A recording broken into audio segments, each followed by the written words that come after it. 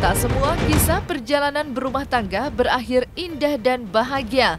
Ada banyak pasangan yang mengakhiri perjalanan rumah tangganya karena tak bisa lagi menyamakan pendapat ataupun merasa tak bahagia di dalam pernikahannya.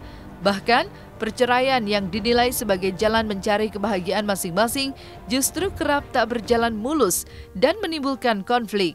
Hal itu juga yang terjadi dalam kehidupan mantan pasangan selebriti yang berseteru walaupun tak bersama lagi. Perseteruan Atala Riksya dengan mantan istrinya Sania Marwa bagai episode panjang yang tak kunjung berakhir. Ia, setelah melewati drama perceraian yang begitu pelik, kini Atalarik dan Sania kembali berseteru.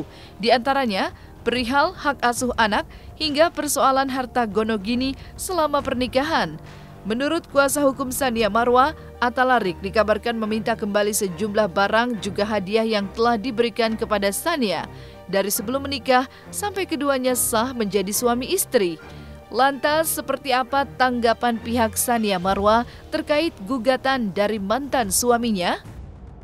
Yang dia bilang eh, benda seserahan atau cincin kawin atau apa cincin tunangan, Tunangan, ya? ya. Cincin tunangan, terus ada gelang keroncong, kemudian ada emas batangan dan segala macam.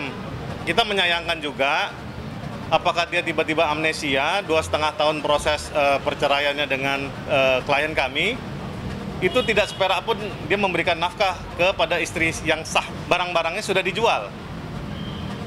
Kenapa dijual? Karena untuk memenuhi nafkah yang tidak diberikan oleh suaminya waktu itu. Karena putusannya itu kan bercerai pada tingkat kasasi.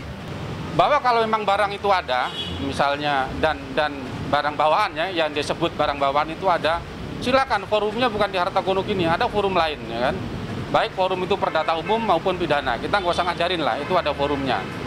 Tapi kalau itu memang barang seserahan, barang cincin tunangan, dan itu dijual oleh klien kami, Sania Marwa, dalam hal untuk mencukupi nafkah dia karena nggak diberikan nafkah selama proses perceraian, ya itu menjadi haknya Sania Marwa kayak gitu ya.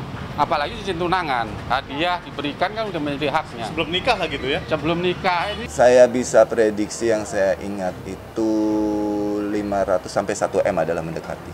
Kurang Jadi lebih. sebenarnya di dalam gugatan penggugat itu kan di dalam berita-berita yang dia sampaikan ke media itu kan mencapai 3 miliar kan begitu.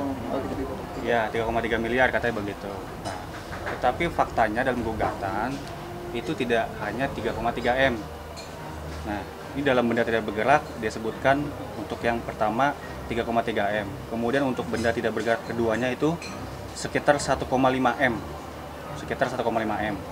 Lalu kemudian dia menuntut lagi eh, untuk benda-benda bergerak ya kan yang memang tadi saya sampaikan dari eh, klien saya ini langsung ya kan sekitar 500 sampai 1 M Mas ya. Ya, yang dibawa langsung. Ya, jadi kalau ditolak total keseluruhan yang dituntut oleh dari penggugat ini mencapai 5 M. Begitu.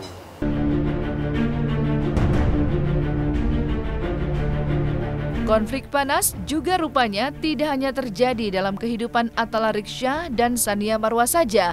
Perseteruan Vicky Prasetyo dan Angel Elga pun terus bergulir sampai saat ini. Sejak keduanya resmi berpisah pada bulan Maret 2020, romansa cinta mereka yang saat menikah pun seolah sirna begitu saja. Bahkan, perseteruan Vicky dan Angel pun sampai ke meja hijau. Bahkan saat ini, akibat kasus dugaan pengerusakan rumah yang dilakukan Vicky, membuatnya kini harus menyandang status sebagai tersangka. Eh, kita yang punya yang punya intelektual, kita yang lebih punya pemahaman yang lebih ini cuekin aja lah. Enggak, saya nggak mau ngebalas. Buat saya membalas nggak usah dibalas lah. Kalau saya balas nanti sama kan gitu. Ya nggak usah kita lihat saja.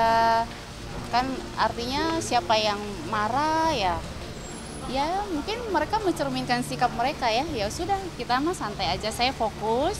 Saya fokus di masalah ini hakim yang memutuskan nanti Saya berharap saudara Angel Elga sebagai saksi pelapor bahwa konsekuensi pernyataan Anda di dalam media hari ini maupun yang kemarin memiliki konsekuensi hukum apa yang Anda ucapkan tidak bersesuaian dengan fakta, itu merupakan fitnah. Hari ini Vicky dituduh fitnah. Bukan berarti barang tentu tidak ketika ternyata pernyataan-pernyataan yang dilontarkan antara yang di luar persidangan dengan yang di dalam persidangan tidak bersesuaian, maka kecenderungan akan menimbulkan fitnah.